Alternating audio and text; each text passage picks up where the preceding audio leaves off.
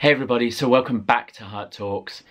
Well, today is December 1st, World AIDS Day. So I've got my red ribbon on and I'm keeping it red today.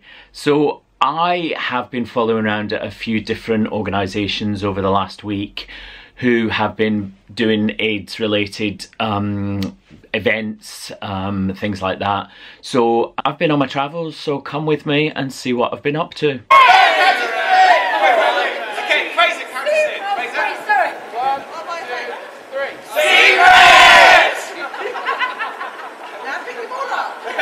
So that was Terence Higgins Trust in Old Compton Street, and they were going into bars and things and um, just promoting World AIDS Day and making people more aware of what the red ribbon was and what it stood for.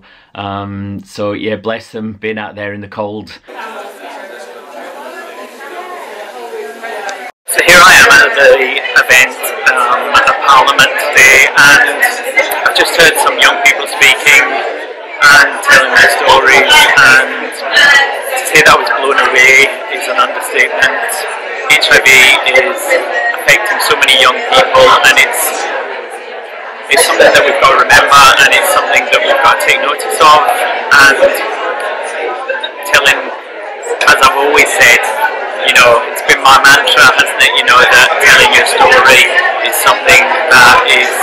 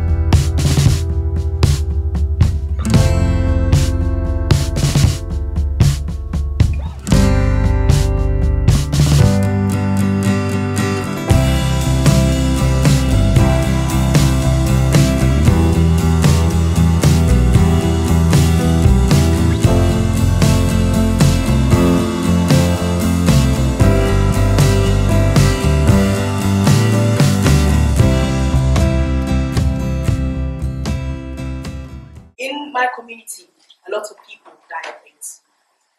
Not because they want to, it's not with their choice for them to die of AIDS. It's because of the stigma that is attached, it's because of discrimination that they face. No one, anyone that is being um, told about their status, they should know that medication is available. And then we had stopaids.org. Now, you saw those young people, and hearing their stories was just, again, just made me see how much we have to do. You know, that's another generation being affected by HIV AIDS. And, you know, it just made me realise that there's still so much left to do. So these are panels from the UK AIDS quilt.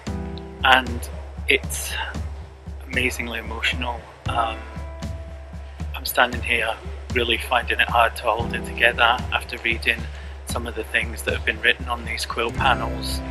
Um, it's just a small collection of them. Um, the, the, quilt itself is massive, um, but these are just some of the panels that they put on display here for World AIDS Day. Um, just makes you think it's it's yeah it's just really sad um, it's, you know, remembering the people that have been lost and what an epidemic it has been. Um, and seeing these panels, the, the, the people that were left behind felt helpless and had nothing to do, or felt they could do nothing, but making these panels was something that they could do to commemorate and remember the people that they'd lost.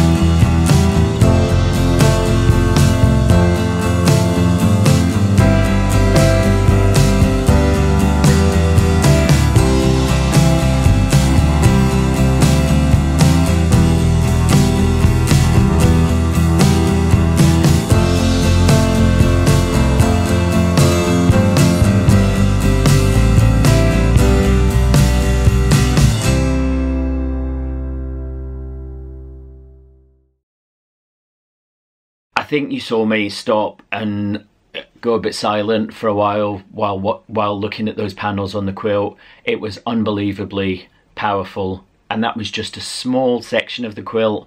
Um, it really tugged at my heartstrings, and it made me realise how far we'd come, especially with treatment. Um, but it also made me realise how far we still had to come. Thank you to all of you who are wearing your red ribbon today. Thank you to all the people that have come before and um, all the people that are, are here now working hard and tirelessly to promote HIV awareness. At stopaids.org they talked about um, by 2030 there being an AIDS-free generation just sounds amazing. It just, you know, it just makes you think it would be great. Um, but you know, the undetectables video that I posted on my last video, I think it was, um, you know, the video that I'd done with the GMFA, um, the amount of you know, there was a lot of negative, you know, I saw it online and I could see a lot of negative people saying, this is not fact, this is not the truth, this is not, and it just reminded me that stigma is still there, without a doubt. Every single day, every time I say I'm HIV positive, there's some not from all people, not from all people, but a lot of people, there is still that, you know, that intake of breath and that just, you know, you can see there how uncomfortable they're feeling about it. And that's why I am as loud and as proud as I can be, we need to make sure that the next generation isn't fighting this virus and that people can believe and understand what HIV AIDS is and believe and understand that there can be a way through it and believe and understand that one day, hopefully, we will be an AIDS-free generation. Thank you and I will see you in Oh no, I won't see you in two weeks' time because now Stephen's 12 Days of Christmas starts. Yes, that means you get 12 of me. 12! How lucky are you? Um, so yes, so the videos will start coming out throughout December. They will be, um, they won't be HIV related, they will be Christmas related um, videos uh, out through December. Please, please watch them. Um, you know, there's a lot of work goes into these and um, you watching them and subscribing to my channel and clicking that like button are all really important to you know to encourage me to continue and also you know to to help the channel grow. So thank you and um happy world aids day. And wherever you are in the world i am sending out my love and support and